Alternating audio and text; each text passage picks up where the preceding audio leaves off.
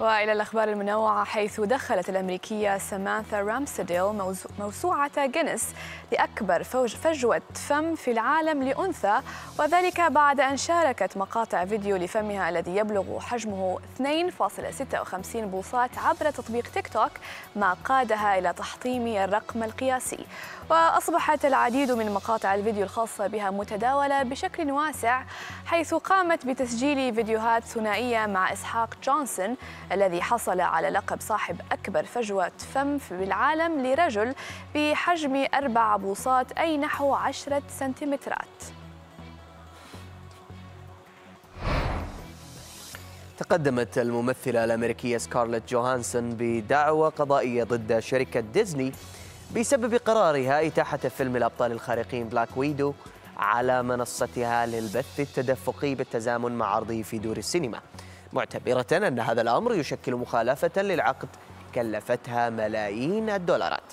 وذكرت الدعوة التي قدمتها الممثلة لمحكمة لوس أنجلوس العليا أن سياسة الطرح الثنائي تلك قللت من أجرها الذي يعتمد جزئيا على إيرادات شباك التذاكر وكان من المفترض طرحه حصريا في دور السينما.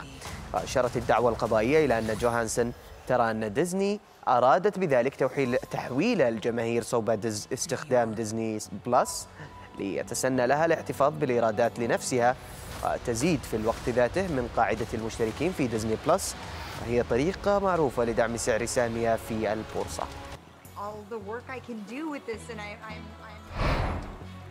مع ارتفاع أعداد الركاب العنيفين يتدرب ثمانية من مضيفي ومضيفات الطيران في ميامي الأمريكية على مهارات الدفاع عن النفس وكيفية ضرب مهاجم عنيف وإخضاعه.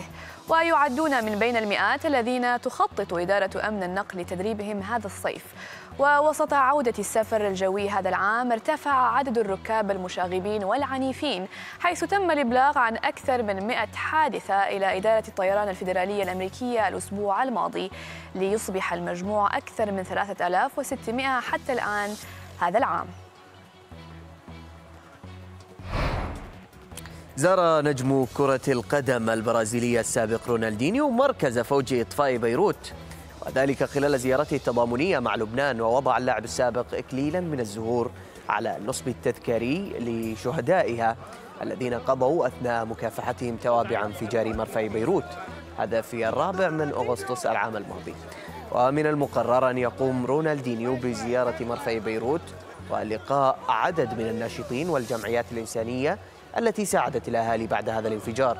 ولم تستقبل بيروت رونالدينيو وحدها القادم إليها تضامنا بل يزورها عدد من اللاعبين بنوادي كرة في في أندية عالمية. بالإضافة لفنانين أجانب وعرب منهم عبير صبري وإلهام شاهين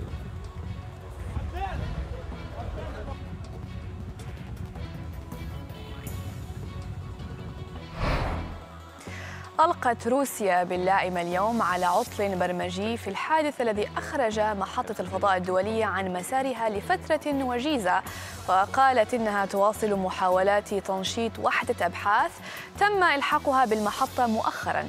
وخرجت محطة الفضاء الدولية عن مسارها أمس الخميس بعد أن دارت محركات وحدة البحث ناوكا في محطة الفضاء الدولية حوالي ثلاث ساعات من توقفها عن العمل.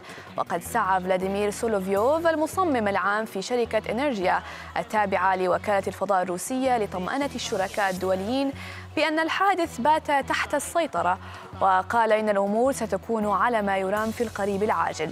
وأضاف في بيان بسبب عطل برمجي قصير الأمد تم بطريق الخطأ تنفيذ أمر مباشر بتشغيل محركات الوحدة للسحب مما أدى إلى بعض التغيير في اتجاه المحطة بالكامل.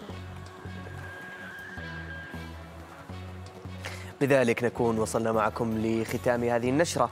شكرا لمتابعتكم. مني أنا هاجر عبد الله وعبد العزيز الفضلي وكافة فريق التاسعة كل التحايا. في أمان الله نلقاكم في الغد. تصبحون على خير.